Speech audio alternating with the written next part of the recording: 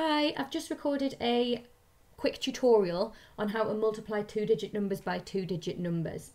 So we're going to use the calculation 34 times by 27 and I am going to set this out in a column format. And if it helps you, you can write in your ones and your tens as your place value column headings. So the first thing I'm going to do is I'm going to write in brackets the calculations that I am going to do first of all. So I'm going to start off with my ones times my ones, and I'm going to write in here 7 times 4.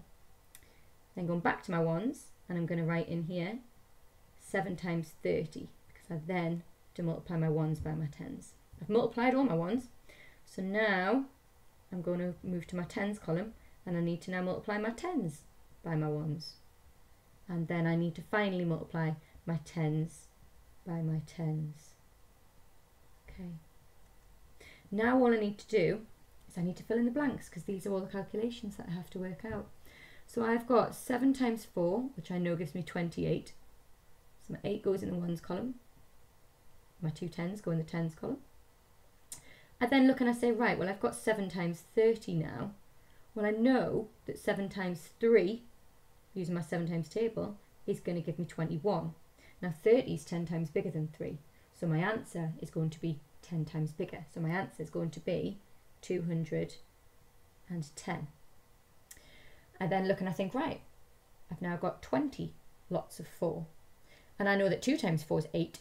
And I know that 20 is 10 times bigger than 2. So I know that 20 times 4 is going to give me 80. So I have 0 in my 1s column and 8 in my 10s column. And then finally I've got 20 times 30. Now I would start off with 2 times 3 knowing that that is 6. And then I think, right, well, I know that 20 times 3 is going to be 10 times bigger. So 20 times 3 is going to be 60. And I think, but this is 30, so it's going to be 10 times bigger again. So I know that 20 times 30 is therefore going to be 600. And then I'm going to add all of these up together and that'll give me my final answer. So I've got 8 in here and I have, how many tens do I have? I have 11 tens. So and I've got to exchange for a 100. And then I've got two 100s, add six 100s, which give me eight 100s.